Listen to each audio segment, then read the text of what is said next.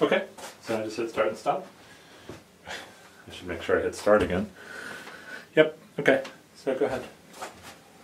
So, 25 root 3 over 2 plus, well, the area of one of these equilateral triangles is 25 times the square root of 3, because the height is 5 root 3 and the base is 10.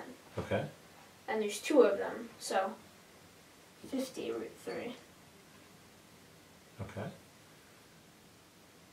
And then we have to subtract minus 50 root 3. What's the 50 root 3? It's you. We're I'm subtracting the area of the rectangle from this. Okay. So. Mind if I do some erasing? Yeah.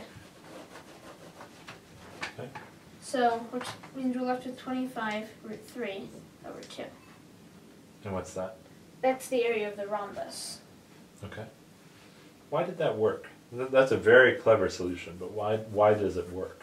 Well, because you're, because we just it's it's all valid. We just have to calculate this area. Okay, but what did you do? Like, what? Can you explain in words what you did here to find the area of that? Well, the first thing I did was find the height of the equilateral triangle, Okay. which was pretty easy. Yeah.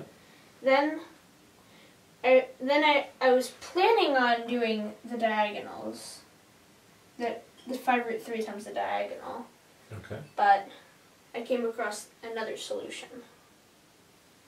So then when I found this, then once I found that, the uh, I found the area of this triangle, which was the area of this triangle. Okay.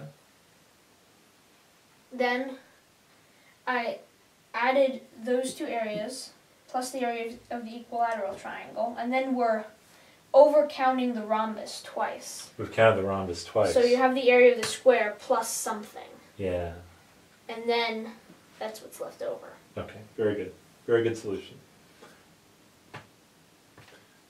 See this line you drew in here? Yeah. You see anything? That line you drew in there makes a very interesting picture. It's a straight line. Yeah, it's a straight line. You see any other way to solve this problem? Hmm. Just look at one of the equilateral triangles.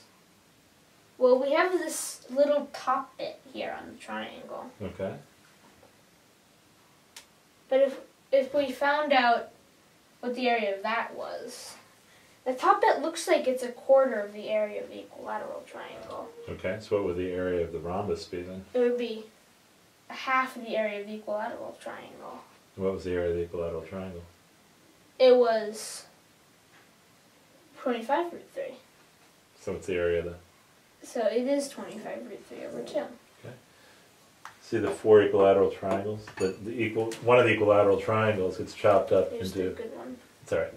Into four equilateral triangles like that. See that? Yeah. There. This is an equilateral triangle. All those angles are 60. This is an equilateral triangle. That's an equilateral triangle. That's an equilateral triangle. All of them sides are 5 instead of 10. So these all are 1 fourth, and there's two of them. It's another way to go. I like your solution though, over counting and then figuring out what you over counted. Good job. Good job on that problem. Nice approach.